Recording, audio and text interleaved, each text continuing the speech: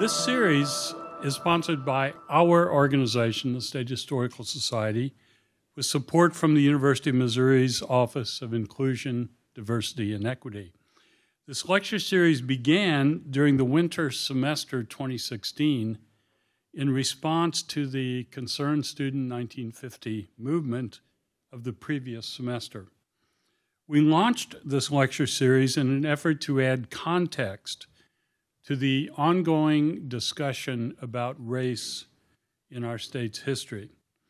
Over the course of the past six plus years, we have hosted more than 20 programs on various aspects of the black experience in Missouri, from slavery to the civil rights movement, from, from black cultural and educational institutions to black businesses and the all black city of Kinloch. All of these programs, by the way, you can see by logging into our website, shsmo.org. Our hope is to continue this lecture series into the far distant future. This evening's lecture is presented by Dr. Larry Gragg, Curator's Distinguished Teaching Professor of History Emeritus and historian at Missouri University of Science and Technology on the faculty uh, in the Department of History and Political Science between 1977 and 2021, Larry served as department chair for 17 of those years. Excuse me. He is the author of 10 books, including Forged in Gold, Missouri S&T's first 150 years. While his research has ranged from the Puritan and Quaker eras, uh, he was a colonial historian here as a graduate student in the early 1970s, uh, to the history of Las Vegas. Recently, he has been focused upon important developments in the history of his home institution with two articles published in our Missouri Historical Review. One from the Hell's Brew of Malice, Hatred, and Vindictiveness. Where did you come up with that title? The 1906 investigation of George E. Ladd, director of the Missouri School of Mines and Metallurgy, which was published in October 2020, and Doing Some Good, George Horn's role in the 1950 desegregation of the Missouri School of Mines and Metallurgy and the University of Missouri. That was in October 2021. So you owe us one. Uh, it's October 2022. Uh, Tonight's presentation is titled, What Are You Going to Do If a Negro Student Presents Himself for Registration in the Fall? Missouri College and University presidents respond to demands for desegregation in 1950. Please join me in welcoming my good friend, Professor Larry Gragg. Uh, historians can't do their work unless there are really good archivists and manuscript specialists. And I want to thank several. At, at Missouri S&T, our archivist, Debbie Griffith, who found so much material for me, and at the Rolla Research Center of the State Historical Society, Katie Seeley and Carol Goggin, and then a whole string of others who've been really helpful. At, at Missouri State University, Tracy Gieselman France, at Lincoln University, Ithaca Bryant, at Southeast Missouri State, Tyson Koenig, at Northwest Missouri State, Jessica Vest, at the University of Central Missouri, uh, Amber Clifford Napoleon, at Truman State, Amanda Lugendorfer, at the Library of Congress, Chamisa Redmond, and at the University of Tennessee, Kyle Hovius. So, with all the material that they've provided for me, I can talk about this intriguing topic of what happened in 1950, right before 1950, during 1950, and just after it. In his recent book, the Campus Color Line College Presidents and the Struggle for Black Freedom, Eddie R. Cole wrote the following The college presidency is a prism through which to disclose how colleges and universities have challenged or preserved the many enduring forms of anti black racism in the United States. However, he adds in the book, college presidents during the mid 20th century fight for racial equality remain virtually nameless when we remember higher education's role in the civil rights struggle. but not Missouri. Not Missouri. Because of an abundance of relevant primary sources, it's possible to examine how the leaders of higher education in Missouri responded to demands for desegregation in public colleges and universities. In 1950, a Cole County Circuit Court order directed the Missouri School of Mines in Rolla and the University of Missouri in Columbia to permit African American students who wanted a degree program not offered at Lincoln University to attend the Rolla and Columbia campuses. Prior to and after that decision, all presidents of the state colleges, in addition to the presidents at Lincoln University and the University of Missouri, faced increasing demands to end all segregation at public institutions. And what you're going to hear is their collective responses. And those collective responses reflected a cautious, sometimes pragmatic, and often indifferent approach to the most important challenge facing higher education in mid century. Now, these seven presidents I'm going to look at, here they are, were all veteran leaders of their institutions.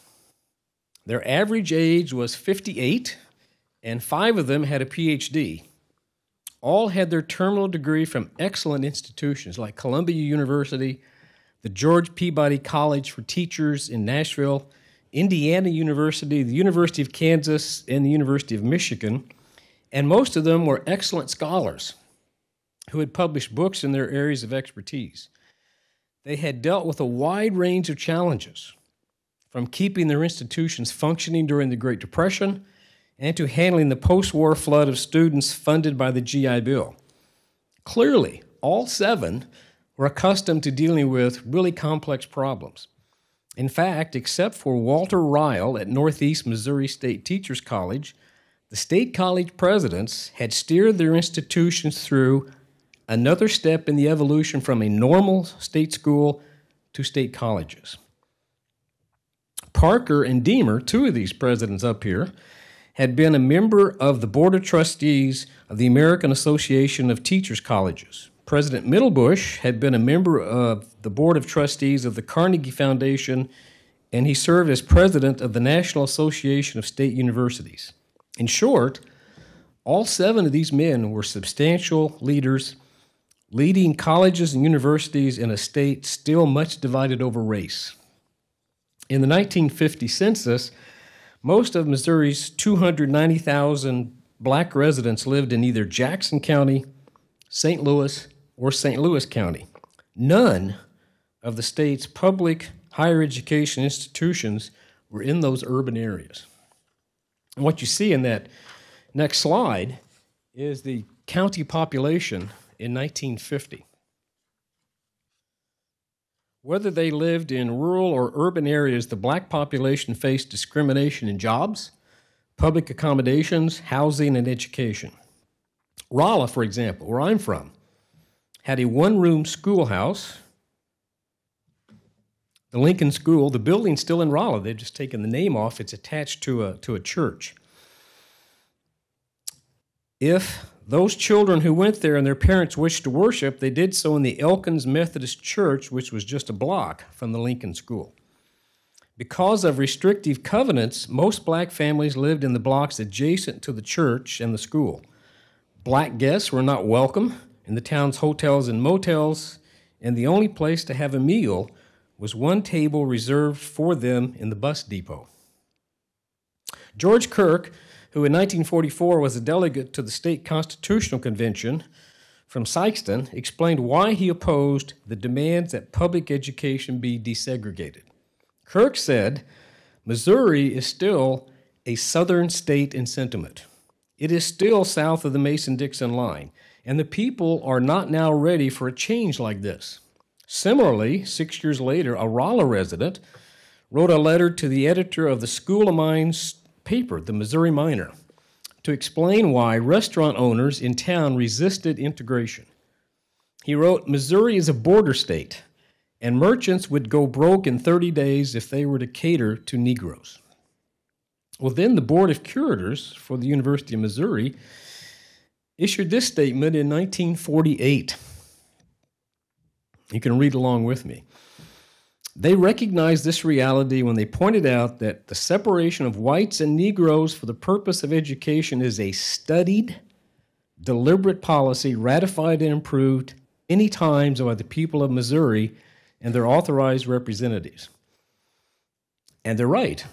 The 1865, 1875, and 1945 state constitutions had stipulated that Missouri would have segregated public schools. Now, African American residents wishing to attend a state college or university could only be admitted to Lincoln University in Jefferson City. For those seeking a professional or graduate degree, the state offered a scholarship to students accepted by an integrated institution in another state. Now, governors of this era and the state legislators believed that these accommodations enabled Missouri to comply with the 1896 Plessy versus Ferguson decision that required that segregated facilities be substantially equal to those provided to white citizens. Now, there was a court case that forced state legislatures legislators to revise this minimalist approach to meeting the requirements of the Plessy decision. In 1936, Lloyd Gaines, a graduate of Lincoln University, applied for admission to the University of Missouri School of Law. And by the way, if you want to pick a book to start reading about this topic, of the 1930s, 40s, early 50s, you can do no better than the wonderful book by uh, Endersby and Horner, which is a terrific book on the Lloyd Gaines case. Gaines' lawyers, provided by the NAACP, were unsuccessful in Missouri courts, but in 1938, the U.S. Supreme Court ruled that Missouri had failed to meet the Equal Protection Clause of the 14th Amendment by forcing Gaines to pursue a law degree in another state. In response, state legislators appropriated funds for Lincoln to establish a law school for African American students in St. Louis, which opened in 1939. That same year, Lucille Bluford, she's up in the slide on the right, the managing editor of the African American Kansas City Call newspaper, who had a degree in journalism from the University of Kansas, applied for admission to the University of Missouri graduate program in journalism. When the university refused, Bluford filed several unsuccessful lawsuits. Eventually, Lincoln University opened a program in journalism.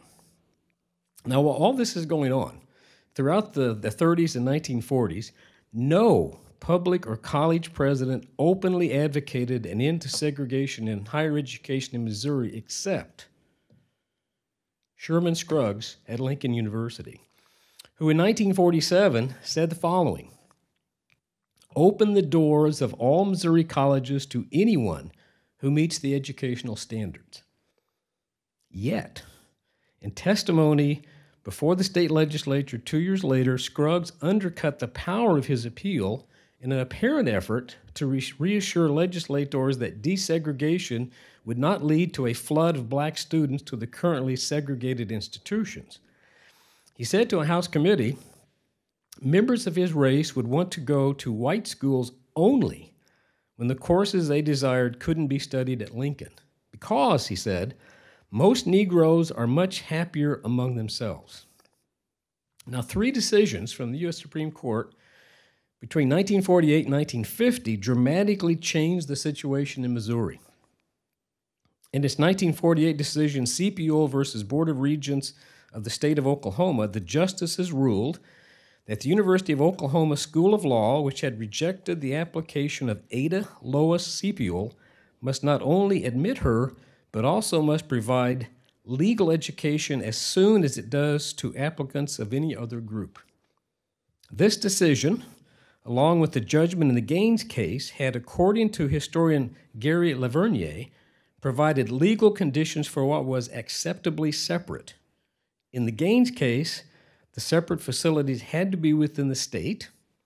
In Sipuel, the separate facilities had to be offered at the same time. In June 1950, the U.S. Supreme Court ruled in Sweatt versus Painter that the state of Texas had not met the requirement of providing a substantially equivalent legal education for African American students by establishing, as Missouri had done, a separate law school. Indeed, the newly established law school for African American students not only had fewer faculty, a smaller library, and moot court facilities, it also lacked the prestige of the well established law school for white students.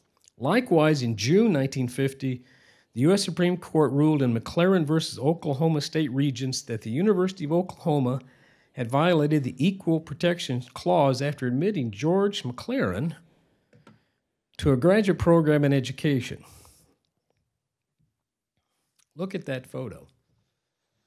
The institution literally had required him to be separate from the white students in the classroom, the library, the cafeteria, and the restrooms. There was a designated table for him in the library, a designated table in the cafeteria. Well, within this context, President Frederick Middlebush, because he headed the State University in Missouri, faced several challenges to the institution's enforcement of segregation, even for extracurricular activities. In 1939, for example, the Tigers canceled a scheduled track meet with the University of Wisconsin and Notre Dame because Wisconsin had a black hurdler named Ed Smith. Besides criticism in the press, some student groups on the Columbia campus protested the decision, and Middlebush received six critical letters, most from alumni. Those who took the time to write condemned the intolerance and the racial bigotry of a quote so called liberal institution. Alumnus John Shea, who was the editor of a publication for the National Education Association, wrote this sentence This is the first time I've been ashamed of the fact that I grew up in Missouri and that I attended MU. Middlebush remained unmoved, as is clear the following year when New York University could not bring their black halfback Leonard Bates for a football game in Columbia. The decision concerning Bates reflected the policy of the Big Six Conference which included Missouri, Kansas, Kansas State, Nebraska, Iowa State, and Oklahoma. The conference, through the influence of the University of Missouri and the University of Oklahoma, prohibited participation by black athletes on all varsity teams. While faculty representatives apparently drove these decisions, President Middlebush's pivotal role was evident in a comment from Robert Stearns, the president of the University of Colorado after his institution joined the conference, making it the Big Seven. Stearns believed that if he and his fellow presidents, quote, put a little pressure on Middlebush, we will get there in eliminating the ban on black players. In 1947, Middlebush offered an explanation for his rigid stance on segregation on activities not associated with enrollment of black students at his university. That year, the University of Missouri hosted an intercollegiate United Nations conference. Students from over 20 Missouri public and private two year and four year colleges attended. However, Middlebush banned the students from three black institutions Lincoln University, Stowe Teachers College in St. Louis, and Lincoln Junior College in Kansas City. I admit, he told a reporter, that the exclusion of Negroes detracts from the universal character of the United Nations Conference and it weakens that conference.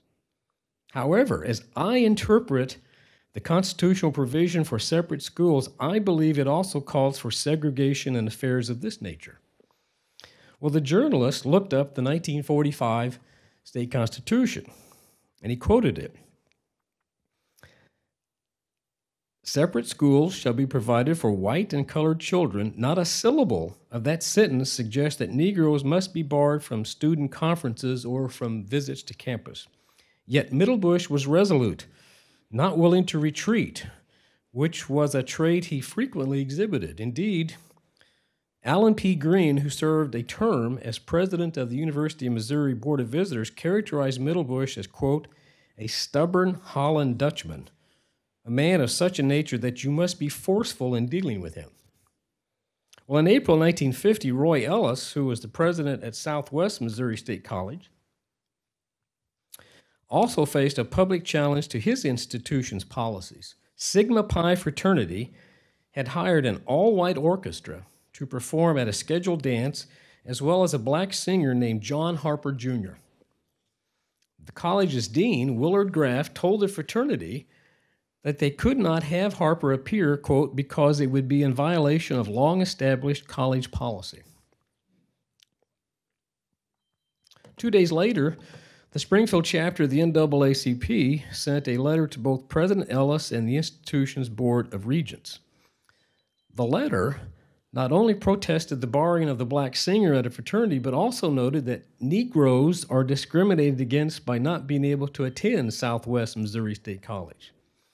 The day after the NAACP sent their letter, fraternity members at Sigma Pi were awakened early in the morning by flames leaping from a gasoline saturated cross on their lawn. Later in the morning, the college's Board of Regents issued a policy statement in response to the quote, ticklish race problem reflected in the cross burning. It was promised that no entertainer would be banned in the future because of his race. NAACP chapter president Landon Smith reported to the national office we had the support of two radio stations, newspapers, and a majority of the student body. In the aftermath of these developments, President Ellis told reporters he regarded the race issue as simply custom and tradition and he viewed the cross burning as little more than a regrettable prank. As Middlebush and Ellis publicly responded to questions about their institution's policies, the five state college presidents conducted substantial conversations about their challenges in dozens of letters. And these are this is a collection of letters that are housed in the uh, special collections and archives at Missouri State University. These documents, not meant to be public, reveal much about their collective response to calls for desegregation. In December of 1948, a hearing conducted by a newly established House Equal Rights Committee triggered much discussion among the state college presidents. At that hearing, David McReynolds, who was the president of the University of Missouri Board of Curators, urged House members to pass a law to permit the admission of Negro students to state supported institutions of higher education in those divisions where instruction afforded by Lincoln University is not equivalent to the instruction given by state schools. All five state college presidents had been invited to attend, but none did. When asked for a comment about the hearing, Roy Ellis simply declined. However, over the next two years, Ellis and the other four state college presidents exchanged numerous letters in which they discussed what to do if courts ordered desegregation. Between 19, December of 48 and March of 49, the presidents focused upon who should decide whether or not public higher education in Missouri should be desegregated. The presidents all agreed that they would be best served by not leading the way on this question. As Ellis wrote, we should not attempt to dictate civil rights legislation. President John Jones of Northwest Missouri State explained that his Board of Regents had instructed him to leave the matter in the hands of the General Assembly. That was fine with Central Missouri State President George Diemer, who expressed no opinion on the virtues or the disadvantages of desegregated higher education when he wrote, I think maybe we should just leave it all alone and then conform to whatever comes out. Collectively, they were grateful that the ultimate decision was out of their hands. As Roy Ellis put it, there was nothing that he could do because the Board of Regents determined the institution's policies. In other words, I'm just a servant of the board.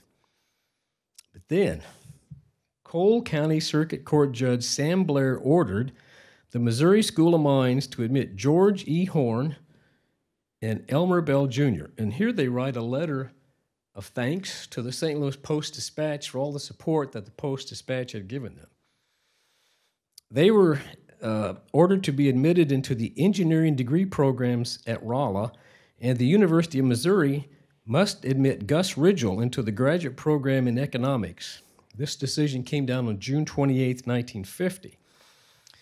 Well, the five state college presidents shared not only their opinions on this case, but also the opinions of their governing boards on the implications for their institutions.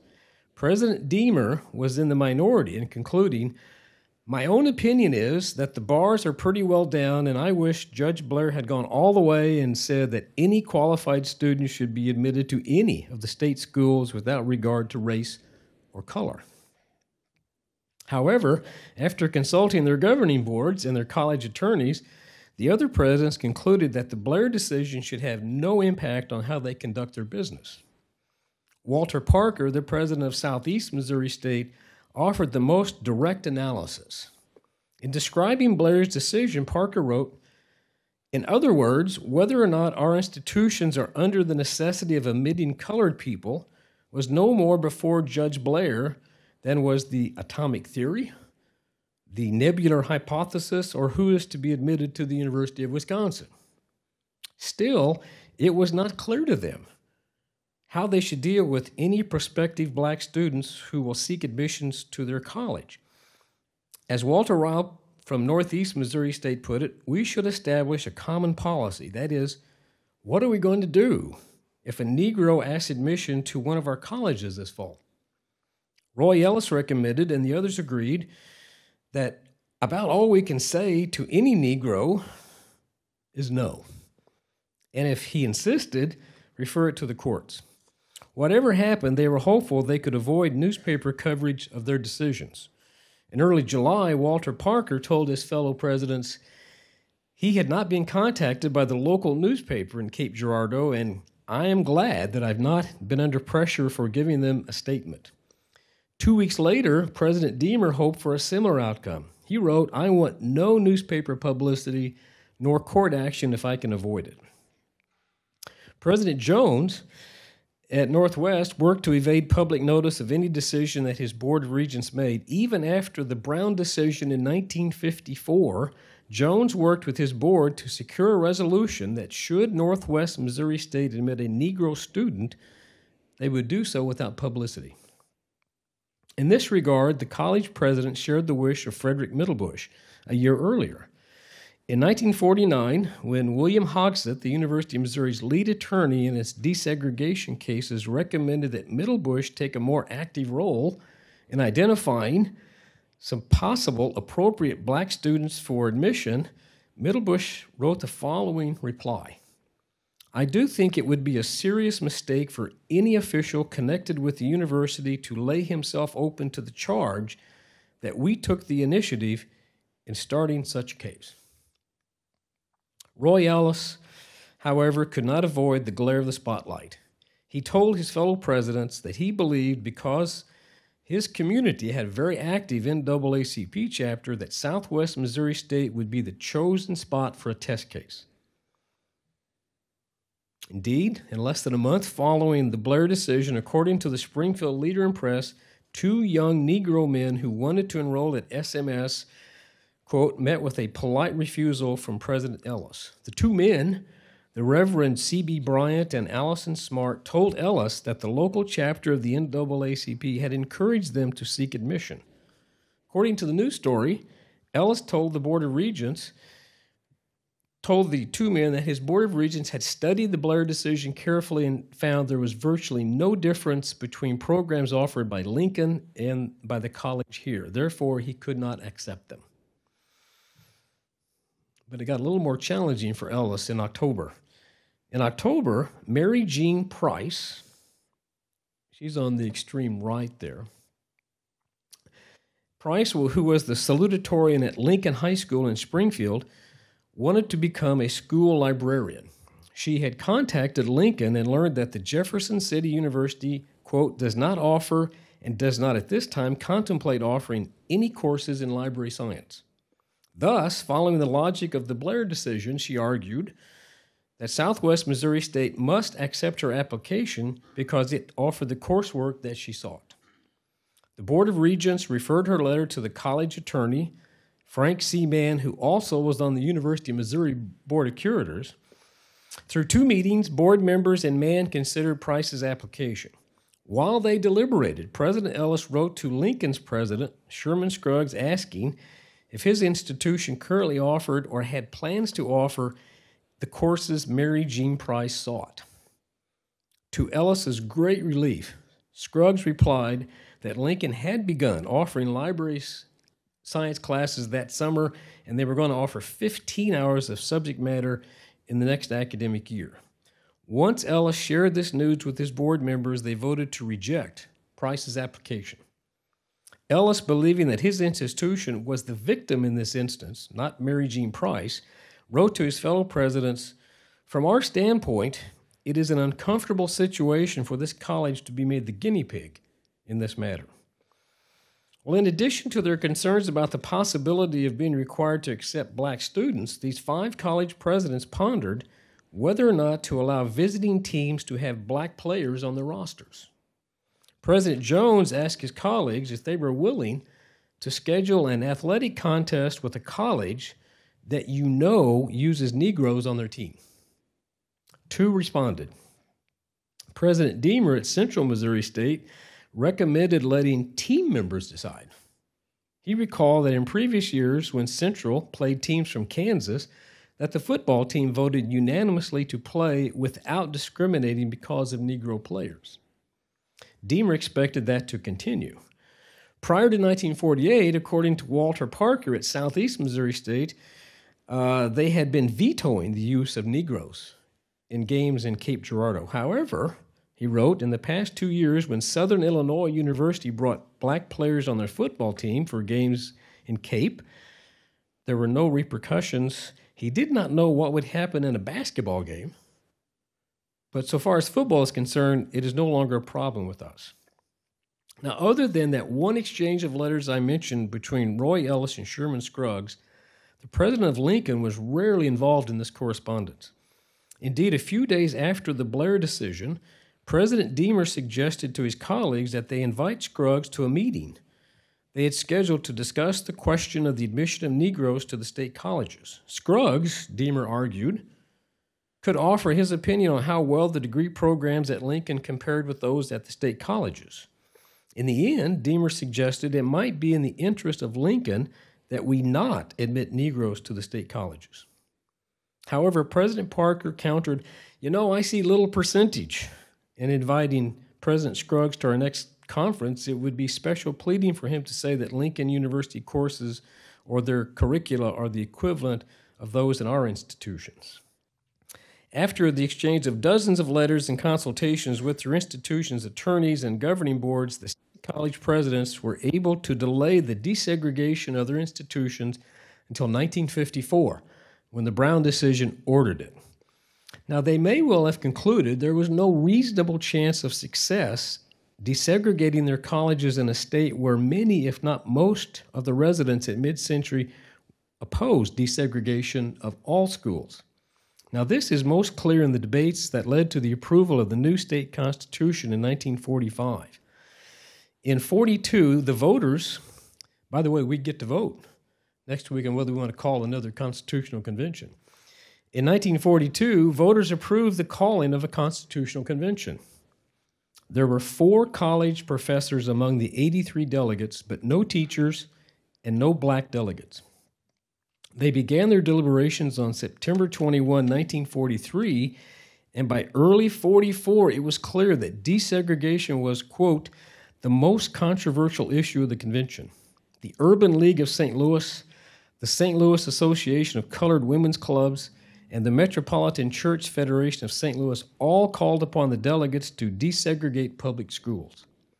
Two education subcommittee members argued that there be no reference whatsoever to Negro schools in the Constitution. And then the committee voted by a narrow margin to eliminate segregated schools. Many clips like this existed in the state newspapers. Ultimately, however, the Education Committee and the convention delegates decided to retain segregated schools as they feared that a change would cause voters to reject the entire document. Indeed, supporters worried about the impact of a quote whispering campaign begun by opponents to the proposed Constitution who falsely argued that should the new Constitution be adopted, white children will be compelled to attend the same schools with colored children. The only hope that delegates could offer in those, to those in favor of desegregation was a letter written by William Bradshaw, a political science professor at the University of Missouri. He noted in a letter to John Clark, who was the president of the St. Louis Urban League, that the delegates had added a critical phrase. While acknowledging that the new document stipulated that there would be separate schools for white and colored children, Bradshaw emphasized that the delegates had added, had added except in cases otherwise provided by law. We have, Bradshaw argued, clearly opened the door for the gradual changing of policy. Indeed, in May of 1949, House members voted 100 to 8 to permit the desegregation of state colleges and universities. However, the bill never made it out of committee in the state Senate. Yet, the emphatic endorsement of the bill in the House represented the slow movement in sentiment towards desegregation evident in Missouri in the 1940s. This was a decade when Missouri newspapers published nearly 4,000 articles on segregation, many of them calling for its end. Significantly, as Gary and Tony Holland have pointed out in their book, the metropolitan newspapers in St. Louis and Kansas City, as well as the black newspapers of those cities, featured many editorials that advocated integrating the university. And between 44 and 49, private institutions, including the University of Kansas City, Webster College, St. Louis University, and Washington University, began to admit black students. Indeed, St. Louis was in the vanguard of change. In 1944, the Cardinals and the Browns ended segregated seating at Sportsman's Park, the last major league city to do that. The city's five Catholic high schools began to admit black students, and some hotels accepted black students. There were examples elsewhere in the state, notably in Springfield, where in 1947 it opened a new Springfield Greene County Library to all, regardless of race or color. And then regionally, some observers said Missouri was risking becoming a pariah state. A 1950 article in the St. Louis Post Dispatch pointed out around Missouri to the east, the north, and the west, there has been no segregation in collegiate education for many years. The University of Illinois, which does not even record whether a student is of the Negro race, estimated it enrolled 300 last term. There were 48 at the University of Nebraska, 128 at the University of Iowa, and 202 at the University of Kansas, 36 of whom came from Missouri. Moreover, in early 1950, there were 23 Negroes at the University of Oklahoma, six in professional study at the University of Arkansas, and 30 admitted to the University of Kentucky Graduate School. This left only the state of Tennessee, of all the states bordering Missouri that had not begun to desegregate. Then, as one looks nationally, as James Endersby and William Horner call the positive atmosphere for civil rights pressed by President Harry Truman, one sees that momentum getting ever faster. Even though Truman was given to racial slurs and telling racist jokes, this grandson of slave owners became a powerful advocate for civil rights. He was the first president to make an address to the NAACP in 1947, speaking to that group from the Lincoln Memorial, in which he said, There is no justifiable reason for discrimination of ancestry or religion or race or color. He also appointed a 15 member committee on equal rights, a committee that noted in its final report we have not finally eliminated prejudice and discrimination from the operation of either public or private schools and colleges. In his 1948 State of the Union address, Truman called on Congress to address the reality that some of our citizens are still denied equal opportunity for education. And then later that year, Truman signed an executive order that desegregated the armed services. Now, as significant as that was, more Americans followed the remarkable story of Jackie Robinson. Jules Tygiel, Robinson's most important biographer, pointed out Robinson's campaign against the color line in 1946 and 7 captured the imagination of millions of Americans who had previously ignored the nation's racial climate. Against the backdrop of Truman and Robinson's courage, there were examples of Missourians who took risks to combat segregation. In the face of significant opposition, John Elmer Ritter, shortly after his appointment as Archbishop of St. Louis in 1946, ordered the desegregation of the diocesan high schools. In 1950, as the University of Missouri and the state colleges struggled with the question of scheduling athletic contests with integrated teams, Bob Vanatta, who was the head basketball coach at Central College, now Central Methodist, and the future coach at both Southwest Missouri State and the University of Missouri, scheduled at least one game each season against integrated teams. He thought his players would become more broad minded after playing teams with Negro players in the roster. Then there's Alan McReynolds, who I mentioned a bit earlier. Reynolds, who served as president of the University of Missouri Board of Curators in 1948, took the initiative in lobbying with state legislators to pass laws requiring public institutions to admit Negro students. Had these seven presidents been willing to join in the movement to end segregation, college and university presidents could have drawn upon substantial support among their students and faculty. In polls taken between 1945 and 1950, at the University of Missouri, the Missouri School of Mines, Lincoln University, and Washington University, both students and faculty overwhelmingly supported desegregation, including 78% of the students in Rolla and 93% of the faculty in Columbia. As the exasperated editor of the Missouri Miner, the Missouri School of Mines school paper, pointed out in March 1950, it now seems that everyone is in favor of the admission of Negroes to the University of Missouri except the men who set the policy. Yet, what did college and university presidents in Missouri truly, truly believe about desegregation? In their study of the Gaines case, Endersby and Horner pointed out that Frederick Middlebush did not write about his views on integration. He was a native Michigander and a scholar devoted to teaching and learning he had no background suggesting opposition to the admission of black students to the University of Missouri.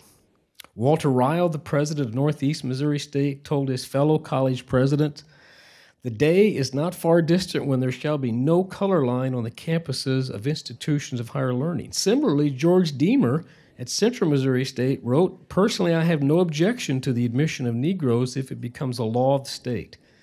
Yet neither Ryle nor Diemer took any action to advocate this.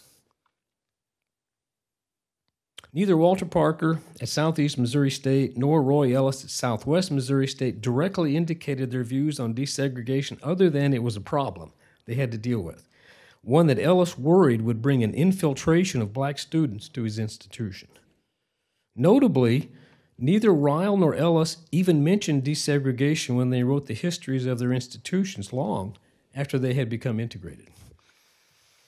Well, historian Mark Russell has pointed out that despite all the challenges they faced, college and university presidents had the power to create a climate conducive to change. Indeed, in neighboring Arkansas, there was an example of a university president who took the initiative to desegregate his institution despite the fact that his governor, Ben Laney, was a staunch segregationist. While not ready to accept undergraduate students, University of Arkansas President Lewis Webster Jones, working with his board of trustees, quietly cultivated businessmen, newspaper editors, and civic leaders to support their initiative to desegregate the graduate and professional schools at the university.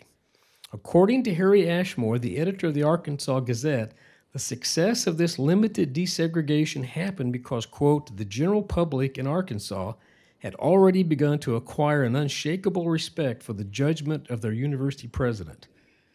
None of the public, his, public higher education institutions in Missouri had gained such respect. Several historians of border and southern states have documented how presidents, regardless of their positions on desegregation, had to be mindful not only of residents of their state, but also state legislators and members of their governing boards who favored segregation as they considered how to best handle the issue. Given such daunting circumstances, the heads of public higher education institutions in Missouri chose not to be leaders. Instead, they opted to be followers. Men who wanted to stay out of the spotlight, men who refused to take the initiative, and men who wanted nothing more than to carry out the orders of someone in authority above them.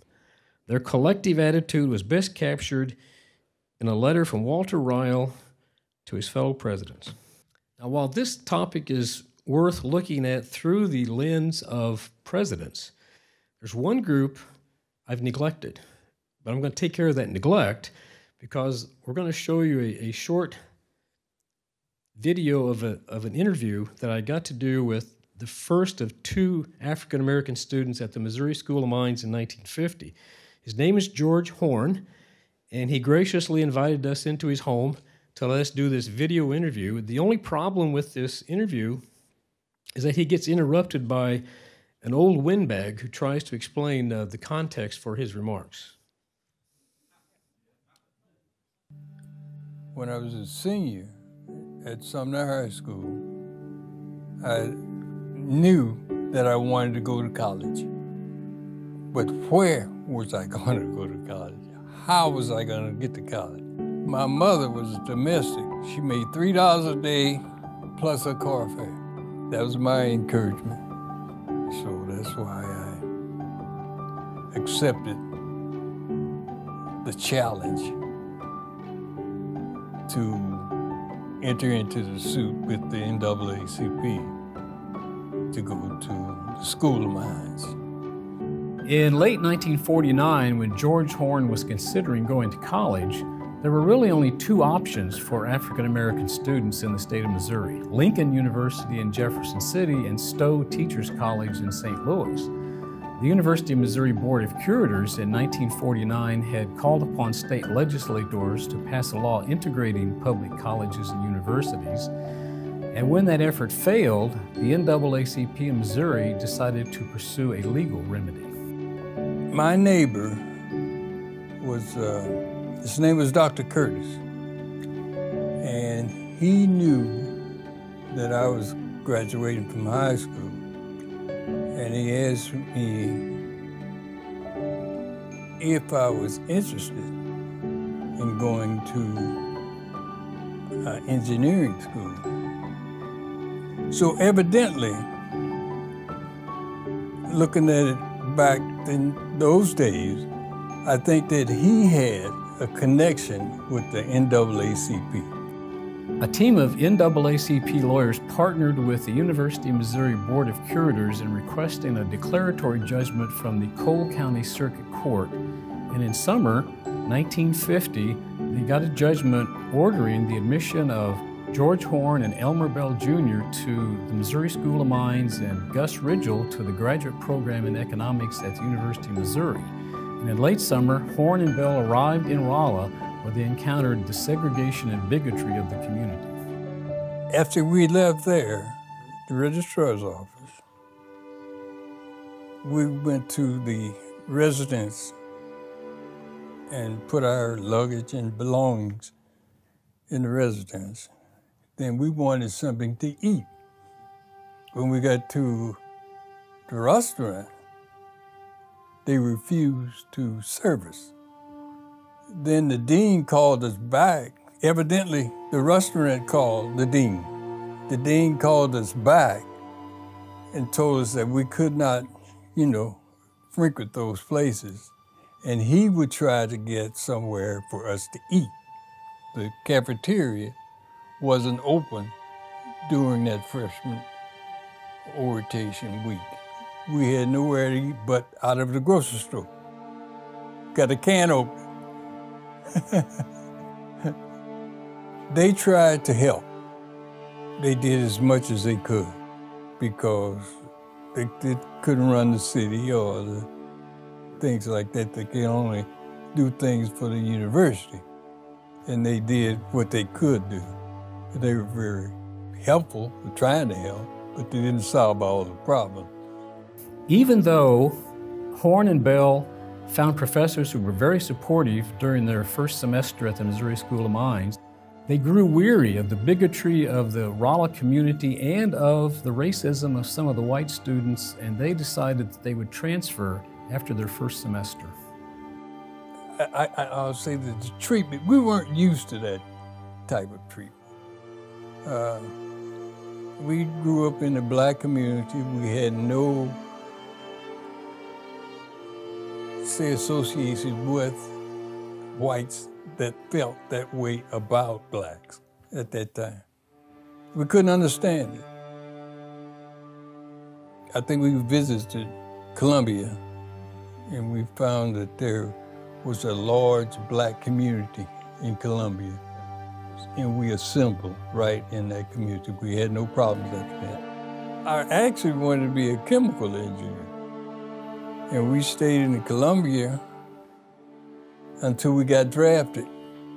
It was a slow process of integration. In the 50s, the campus never had more than six African American students in any one year and did not have a graduate until 1956 when Silas Garrett graduated with a degree in, in physics. But there have to be pioneers to start an integration movement, and what we have here is one of the two pioneers of integration at the Missouri School of Mines and Metallurgy, George Horn. You look back and you say, What if I had stayed there? Where would I be now? And I don't think I would change anything. I think Rolla was a good experience for me. Even it wasn't fruitful for me, it was fruitful for others that came after me. So I did some good. Mm-hmm.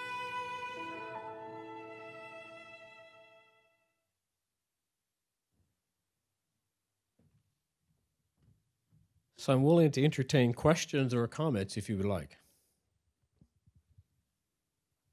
Well, if you do have a question or comment, please wait till a microphone comes your way.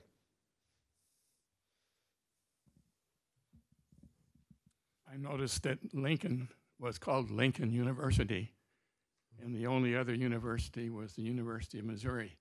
Was that a veiled attempt to be equal? Yes, they were both land grant universities. Uh, the, the Lincoln University, it got that name in 19, I want to say 21, 22 through uh, state legislation. It would be the, the comparable school for African American students as Mizzou was for white students. But it wasn't really. It well, it, it, it qualify in many ways when people tried to. Well, what we find in looking at the, the letters of the five college state college presidents, they compared their curriculum with that at Lincoln, and they were very, very similar. So in that regard, uh, you're right. They, they, it largely was a uh, teacher education school like the school in Springfield and Cape Girardeau and Warrensburg and in Kirksville and in Maryville. They dodged the issue. Mm-hmm. Question over there.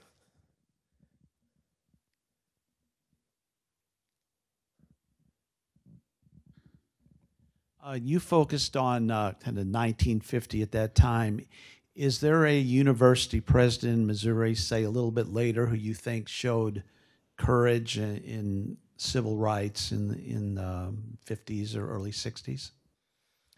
Well, uh, the work done on the Central Missouri State indicates that George Diemer, when he knew that the Brown decision was about to come down in 1954, he worked with his board of regents to be ready as soon as that decision came down to start the, the desegregation uh, process at Central Missouri State. I did get to interview um, on a, for another reason.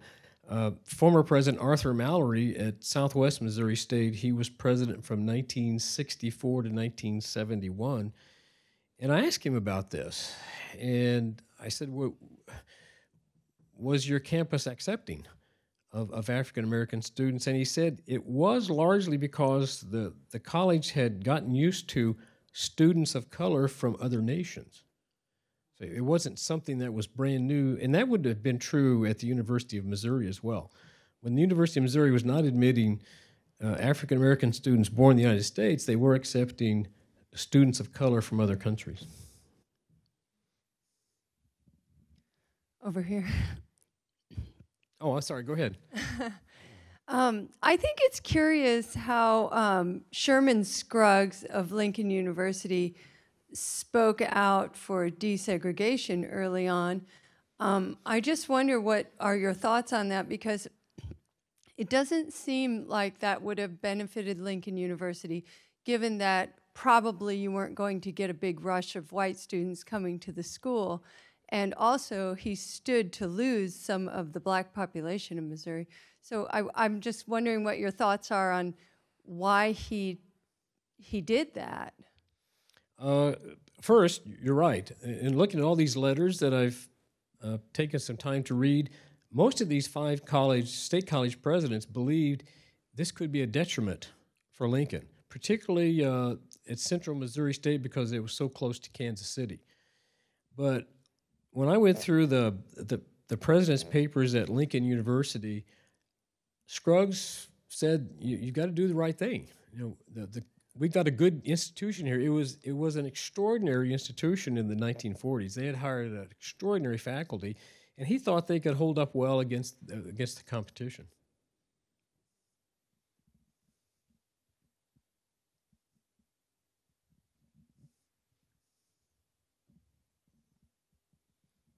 Uh, I was curious, what was the uh, fate of the uh, of the the gentleman that you had the uh, interview with? What what did he end up doing um, after? Horn? Yes. Great question. Uh, he and Bell got drafted. They went and served uh, in the Korean War, and when he came back, he said, uh, "You know, I wanted to be a chemist." So he was a chemist for a while, for the, I think I want to say the Food and Drug Administration. But his real ambition was, by the late fifties, was to go into the fire department in St. Louis. And he said what he faced in Rolla prepared him for what he faced in the fire department in St. Louis. There was there were separate firehouses for white and black firefighters, but he became known as one of the most aggressive and successful champions for equal rights in the St. Louis Fire Department. When he retired, I believe he was second in command. So that, that spirit that you saw exhibited there, he just continued with it. Good question. About Elmer Bell Jr., I don't know. I never found Elmer Bell Jr. When I finished uh, the article that I, I that came out in October of 21, I discovered he'd passed away. I wish I could have found him. I got to talk to Gus Ridgel, uh, the gentleman who came to to Mizzou, and when I shared with him what Horn said about coming to Columbia being a much more accepting place, Ridgel said, well, what the hell was he talking about? He said, I wasn't accepted out. And I was in a small community of, of African Americans, but in the rest of Columbia, it wasn't any better. Hi. Hi. Um, I know your talk tonight was focusing on college presidents uh, and how they were involved in the issue. Um, but I wonder, similar to Concerned Student 1950, did you find uh, any evidence of student activism making any kind of impact on these college presidents or the, the Board of Regents? Great question. And yes, there was. Uh, on the University of Missouri campus, absolutely, a number of different student newspapers became very strong advocates. Middlebush tried to censor uh, some of their work. Uh, a lot of protests. Same thing happened at uh, Southwest Missouri State. Uh, similarly, at the Missouri School of Mines in Rolla. Uh, the, the thing about the Rolla poll and what they bragged about, they said a higher percentage of students at the Missouri School of Mines favors desegregation than in the quote liberal campus up in, in Columbia. Uh, it wasn't enough to push these guys to to change their position, but there was activism. And there's there's another point I want to pursue after this this topic. I'm I'm so interested after listening to Horn. I want to know what it was like for every one of the first cohort of African American students, whether they went to Northwest Missouri State or Southeast Missouri State, University of Missouri, wherever it was, I want to know was Horn's situation unique or was it the common experience? So I don't know how successful I'm going to be, but that's that's my next next project. I know that the uh, first African American student who graduated from Northwest Missouri State was a football player. He began in 1959, graduated in 1963. He said there had been other black players before him at Northwest, but they tended to play that first semester, and as he put it, they found out there were no black girls in Maryville, so they, they left. I, I'm, I'm going to guess that if I have success in finding these, these students, that their retention rate was probably pretty low because they walked into a circumstance they were they were not ready for. I, I could be surprised by that. Uh, recruiting of black players was uh, common. It was common. Yeah. That sounds about right. Yeah. Way over there. So um, the University of Missouri, the Board of Curators got involved in the lawsuit um, to get the black um, students in the School of Mines, et cetera. Uh, was any other colleges, you know, um, their boards involved in trying to desegregate and stuff? They got involved to stop desegregation. They said that Blair ruling only applied to the University of Missouri and to the Missouri School of Mines. There, there was no activist board member that I could find at the five state colleges. Maybe they silently advocated, but they didn't do it in letters and they didn't do it publicly. What was the impact, uh, or what was the culture around faculty at the different universities, and how did that relate to the presidents? As far as I could tell, most of the faculty were, were quite receptive. I know that there was a, a, a petition that was signed by several faculty members at Southwest Missouri State, but they didn't want their names publicized.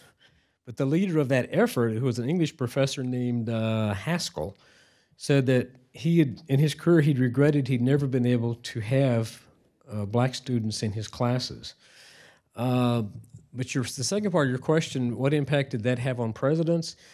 Faculty who became activists, and they were at Washington University, some at, at Mizzou, tried to push their leaders, very little success.